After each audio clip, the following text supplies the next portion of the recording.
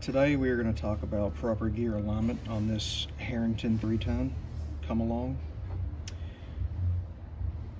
This does not apply to a ton and a half. A ton and a half come along will not have the timing marks on the number two gears. So what you're going to do is put a little bit of grease. I've already cleaned all this up to make this video a little bit quicker. Put a little bit of grease inside the load gear. Make sure that goes all the way against the B plate. You take your number two gear and align that zero forward. Sometimes you have to give it a little twist.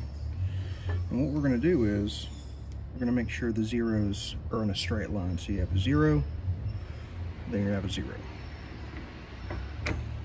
Now, your zeros are in a straight line. If they're not in a straight line, this unit will bind and it will not operate properly.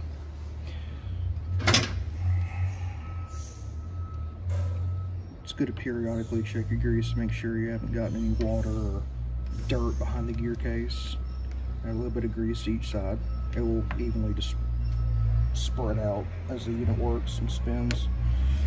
Then you take your gear case housing with the notch right here, and that notch is going to fit behind the top hook pin.